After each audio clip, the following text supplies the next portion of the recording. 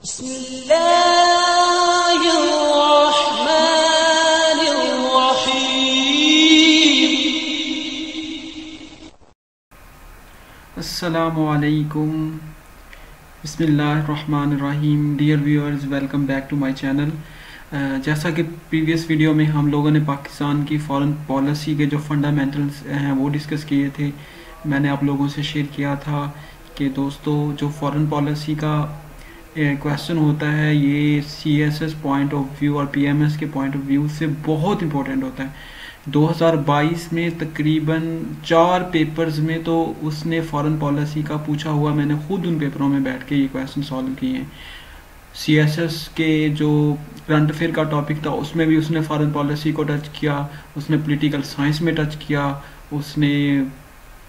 इसके अलावा जो था पाकिस्तान अफेयर का क्वेश्चन उसमें उसने, पाकिस्तान अफेयर के पेपर में उसने फॉरेन पॉलिसी को किया। इसके अलावा ऐसे में उसने एडवेंशन पूछी हुई थी। तो दोस्तों फॉरेन पॉलिसी बहुत बहुत इंपॉर्टेंट टॉपिक है। तो अगर आपने प्रीवियस वीडियो नहीं देखी, मैं एक दफ़ा उसका थोड़ा सा ओवरव्यू दे देता हूँ कि उसमें मैंने आप लोगों को क्या करवाया था। दोस्तों, उस वीडियो के अंदर हम लोगों ने बड़ी डिटेल से ये सभी चीज़ें देखी थी, जो कि ये आउटलाइन में मैंने दिखाई है। फॉरेन पॉलिसी को डिफाइन किया, फिर हमने ये आउटलाइन सारी step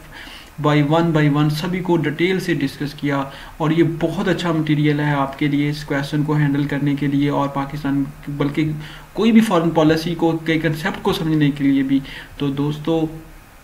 आज हम बहुत ही इंपॉर्टेंट फॉरेन पॉलिसी के जो डिटर्मिनेंट होते हैं, उनके बारे में डिस्कस करेंगे। मैंने प्रीवियस वीडियो में आपको बताया भी था कि जो नेक्स्ट वीडियो हमारी होगी, वो फॉरेन पॉलिसी के जो डिटर्मिनेंट्स हैं, जिसमें डोमेस्टिक और इंटरनेशनल डिटर्मिनेंट्स आते हैं, वो हम, यानी फॉरेन आते हैं, वो दोनों ही हम डिटेल से करेंगे। तो दोस्तों, सबसे पहले आज हम करने लगे हैं जी the domestic determinant of foreign policy तो जो डोमेस्टिक होते हैं, किसी भी कंट्री की फॉरन पॉलिसी के डिटर्मिनेंट्स यानी उसके अनासर उनमें से सबसे पहला आता है मिलिट्री कैपेबिलिटीज़ जो सेकंड नंबर पे दोस्तों आता है, ये मैंने आउटलाइन बनाई हुई है। आप भी क्वेश्चन में कोशिश कीजिएगा। ऐसे में तो नहीं आउटलाइन अलग होती है और जो आगे आप पैराग्राफ बनाते हैं, लेकिन क्वेश्चन में आप पैराग्राफ में भी ये हेडिंग दोबारा दे सकते हैं और आउटलाइन भी बना सकते हैं। तो आपको पता है सी में हर क्वेश्चन ही जो हम लिखते हैं, वो ऐसे ही की तरह लिखना जाता है। लेकिन इसमें ये होता है कि ऐसे में एक रिक्वायरमेंट होती है ट्वेंटी फाइव हंड्रेड वर्ड्स की, और उसमें आप हेडलाइन मतलब हेडिंग नहीं दे सकते, लेकिन आप क्वेश्चन में हेडिंग दे सकते हैं और इसमें आपको इतनी रिक्वायरमेंट नहीं होती, आप कोई फाइव हंड्रेड प्लस में अपना आंसर दे सकते हैं अकॉर्डिंग टू क्वेश्चन तो दोस्तों, आज चलेंगे हम आज के टॉपिक को स्टार्ट करते हैं. डिटर्मिनेंट असल में होते क्या डिटर्मिनेंट दोस्तों, वो अनासर होते हैं, वो अवामल होते हैं, जो किसी भी कंट्री की फॉरन पॉलिसी बनाने में उनका बहुत ही अहम करदार होता है. तो बहुत ज़्यादा डोमेस्टिक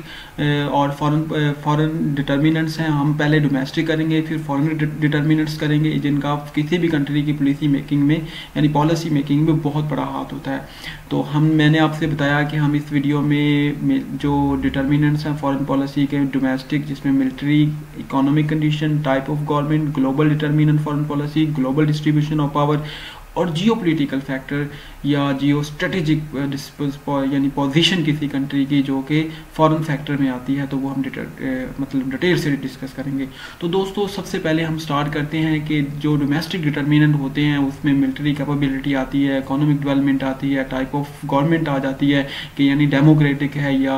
उसके अंदर जनाब डिक्टेटरशिप है या उसके अंदर जैसे कि सऊदी अरेबिया है या कुछ ममालिक हैं, उनके अंदर आपको पता है कि जो एथोटेरियन यानी सिस्टम है, उसके अंदर वो मोनार्की सिस्टम ऑफ़ गवर्नमेंट है तो वो वो भी डिटर्मिनेंट होते हैं बहुत बड़े किसी भी कंट्री की फॉरेन पॉलिसी की को डिफाइन करने के लिए, उसको बनाने के लिए। तो सबसे पहले मिलिट्री कैपेबिलिटी को देख लेते हैं। दोस्तों, किसी भी कंट्री की जो मिलिट्री कैपेबिलिटी होती है, उसके बारे में जो जितने भी मतलब माहरीन की राय है, वो उनके मुताबिक के बहुत ज़्यादा इन्फ्लुएंस होता है पॉलिसी मेकिंग में जो उसकी मिलिट्री कैपेबिलिटी का। तो the fact that the state preparation for war strongly influence later use of forces for the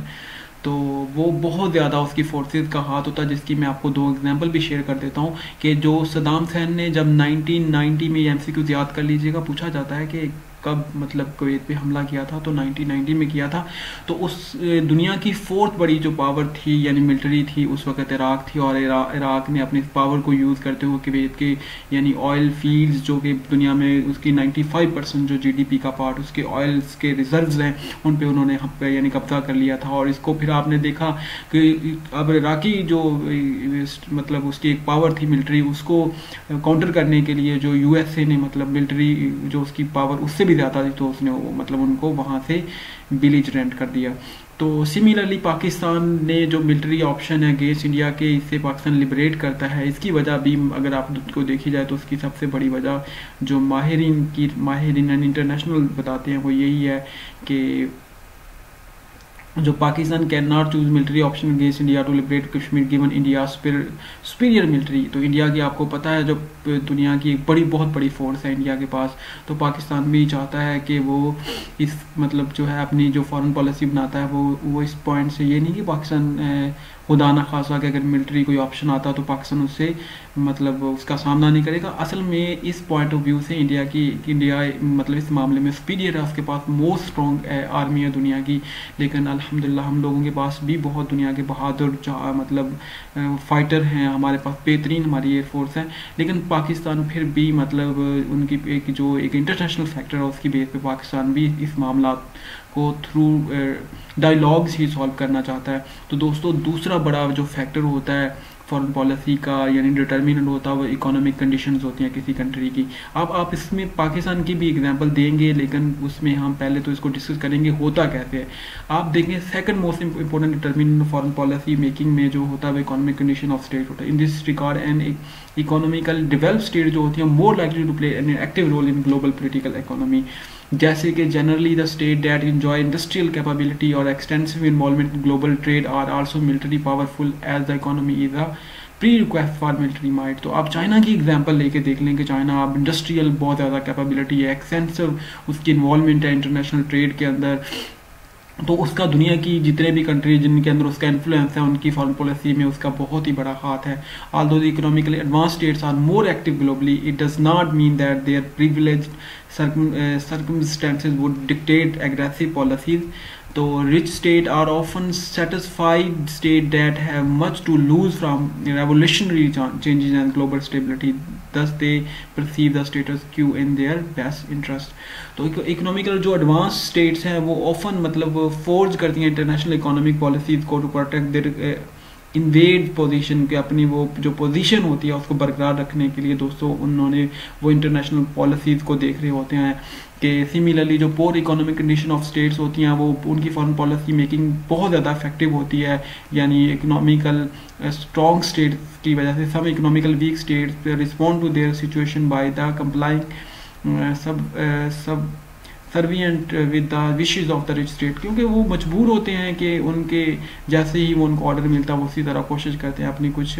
मतलब कर। लेकिन ये फैक्टर को अगर देखा जाए तो जैसे कि मैंने ये आपको ग्रीन कलर में हाईलाइट किया है कि levels of economic development very widely among state yet this determinant alone does not determine the foreign policy लेकिन ये एक अकेला फैक्टर नहीं है कि मतलब अकेला इकोनॉमिक फैक्टर को ही ले लें जी, बस उसी के बेस पे नहीं नहीं, और भी बड़े फैक्टर होते हैं। इंस्टेड लीडर जो परसेप्शन होती है of opportunity and constant that their state's econ economic state provide may have a large influence on their foreign policy तो लीडर्स की जो परसेप्शन होती है वो भी एक बड़ा डिपेंड करती है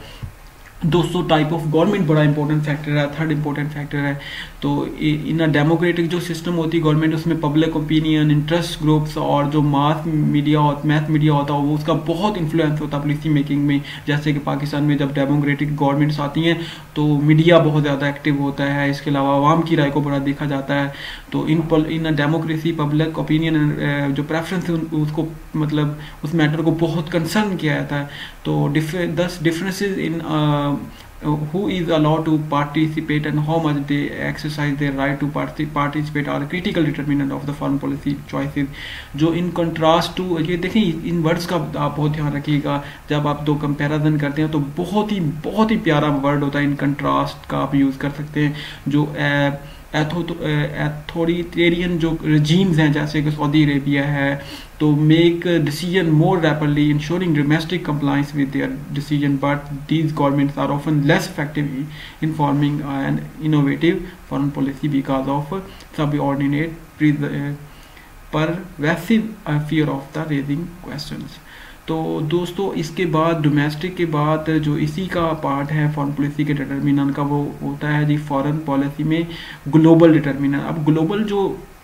जो और एक्सटर्नल डिटर्मिनेंट होते हैं फॉरेन पॉलिसी में include all the activities and development beyond a state border so it, it ultimately affect the foreign policy option and cho choices of the state official तो दोस्तों factor such जैसे कि हमने देखा military alliance international level में देखते हैं levels of international trade जो sometime profoundly affect the choices of foreign policy decision makers. In the following जो हम पैराग्राफ में जो मेजर फैक्टर देखेंगे मतलब किसी भी इंटरनेशनल जो ग्लोबल फैक्टर हैं, उनमें से एक फैक्टर है जी, दोस्तों ग्लोबल डिस्ट्रीब्यूशन ऑफ़ पावर के दुनिया में जो पावर्स हैं, वो किस तरह उनकी डिस्ट्रीब्यूशन हुई हुई है। सेकेंडली हम देखेंगे कि जियो स्ट्रेटेजिक जो पोजीशन है that affect the international policy making तो दोस्तों, बहुत बहुत ही इंपॉर्टेंट टर्म जो कि जिसको आप सी एस एस में मतलब पोलिटिकल जार्गन या इंटरनेशनल आई आर जार्गन भी कहते हैं, यानी पोलैरिटी यूनिपोलर बाईपोलर मल्टीपोलर ये बड़ी टर्म्स हैं ज़बरदस्त तो इनको थोड़ा सा आप इनको, इनका हॉन होने चाहिए और आप अपने, यानी कि इंटरव्यू में और अपने क्वेश्चन में इनको यूज़ करके अपनी वर्थ इंक्रीज कर सकते हैं। तो दोस्तों to describe the distribution of power among the members of the global system और states scholar use the term polarity देखा ना मैंने कहा ये स्कॉलर टर्म है। यूनिपोलर सिस्टम जो होता है वो उसमें सिर्फ़ वन मेजर और डोमिनेंट फैक्टर होता है। जैसे कि आफ्टर द यूएसएसआर कि मतलब जो कोलैप्स के बाद दुनिया में यूनिपोलर सिस्टम आ गया, यानी अमेरिका बहुत बड़ा स्ट्रॉन्ग आया, लेकिन अब फिर चाइना के इमर्जिंग के बाद यूनिपोलरिटी ख़त्म होती जा रही है और बाईपोलर सिस्टम आता जा रहा है। तो while bipolar contain two centers of power where are multipolar system बल्कि अब तो बाईपोलर से भी मल्टी सिस्टम है। रशिया भी एक बहुत बड़ी पावर के तौर पर दोबारा इमर्ज हो रहा है। तो मल्टीपोलर सिस्टम कंटेन थ्री और मोर सच पावर सेंटर तो closely related to the distribution of power is the pattern of alignment among the state तो पोलराइजेशन जो होती है, उसको refers to the degree to which the state align themselves around the power states के, किस तरह वो उनको अलाइन करते हैं, उसको पोलराइजेशन कहते हैं। फॉर एग्जांपल कि एक हाईली पोलराइज जो सिस्टम है in is one in which small और मीडियम स्टेट जो है, वो from line with one of the two dominant power तो आप जिसकी एग्जांपल यूरोपीय यूनियन की ले सकते हैं कि अब जो यूरोपीय जितने भी कंट्री हैं वो मतलब अपने आप को उन्होंने बाकायदा तौर पे जो यूएसए के साथ उन्होंने अलाइंस बनाया हुआ है, जिसको नेटो भी बोला जाता है। अभी भी जब रशिया ने यूक्रेन पे अटैक किया तो फिनलैंड है और उसके बाद फिनलैंड के बाद दोस्तों स्विट्ज़रलैंड इन्होंने बाकायदा तौर पे मतलब वो नेटो के लिए एप्लीकेशन ने दी और उस अलाइंस में शामिल होने लगे तो political alliance formation greatly influence the foreign policy making of the state for example when the power is in the hands of single state in a unipolar system it can easily choose to use military force और intervene in the affairs of other states तो ऐसा ही किया जब तक वो unipolar था। America तो आपने देखा, उसने पहले ये अफ़गानिस्तान पे अटैक किया और एक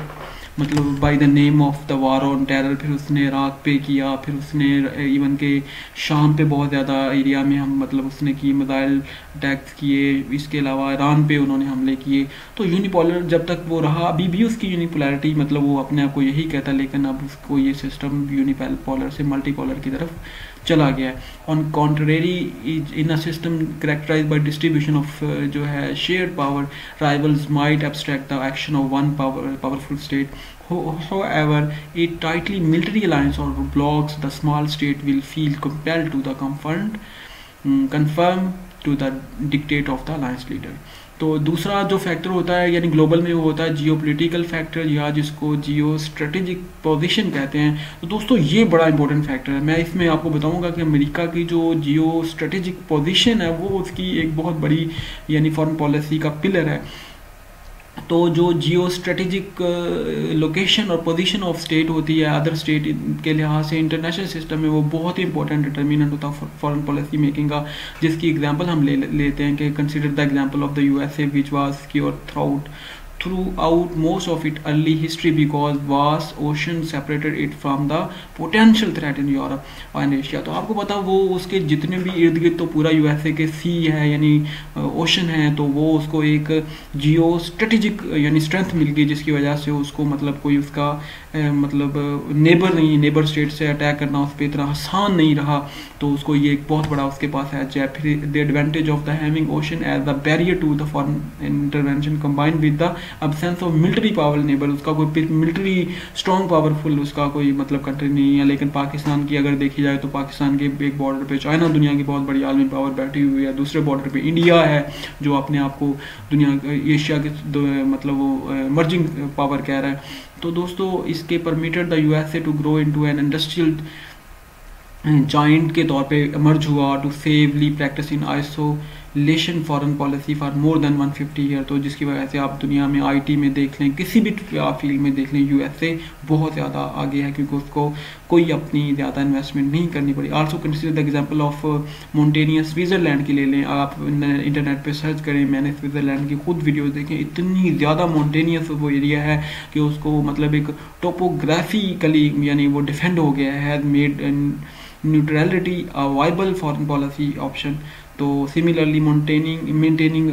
तीसरा जो ग्लोबल फैक्टर यानी जियो स्ट्रेटेजिक में होता है मेंटेनिंग एटोनॉमी जैसे कि आपने ये देखा अभी जो यानी ब्रिटेन ने अपने आप को जो यूरोपीय यूनियन से अलग कर लिया continental policy has been a major theme in the foreign policy यानी similarly maintaining autonomy from the continental policy यानी यूरोपीय यूनियन के लिए द फ़िज़िकल डिटर्मिनेंट इंग्लैंड की वो मिसाल दे रहा है Together, the physical detachment of England from Europe had long uh, served as a buffer zone. It separated England from the entanglement in major power dispute on the continent. Maintaining this protective uh, shield has long been the priority for Great Britain. It also explains why England has been hesitant to accept full integration into the European Union. Thus, the presence of the uh, natural frontiers profoundly guides policy making choice तो दोस्तों, ये थे main determinant जिसमें हमने domestic और global पढ़े। बड़ा important determinant का पॉलिटिकल साइंस में ये क्वेश्चन आया हुआ था। पीएमएस में भी आया हुआ था। तो आप इसको ज़रूर करें और अगर आपको ये वीडियो अच्छी लगी प्लीज़ लाइक करें, दोस्तों से शेयर करें कमेंट सेक्शन में अपनी राय दें। इंशाल्लाह पाकिस्तान अफेयर के और भी बड़े हॉट टॉपिक्स जो के हैं, वो मैं इंशाल्लाह रिसेंटली वीडियो बनाऊँगा ताकि आपको सी एस एफ़ में इन इन आउटलाइन को देख के कोई भी क्वेश्चन को हैंडल करना इस टॉपिक से रिलेटेड आसान होगा अपना ख्याल रखें, फ़ीमान अल्लाह, हाफिज़।